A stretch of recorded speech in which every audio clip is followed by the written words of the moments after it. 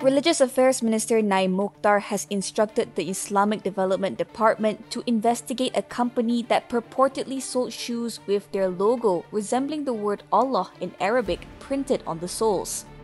In a Facebook post that went viral earlier today, a man said he bought the shoes from the company's outlet in Kuantan. He shared a video showing the shoe and its sole after taking it out of the packaging. In a statement, Naim said Jakim will summon the relevant parties tomorrow to obtain clarification.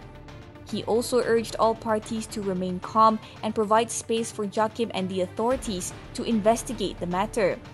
He added that Jakim will not compromise if any party is found to have insulted Islam.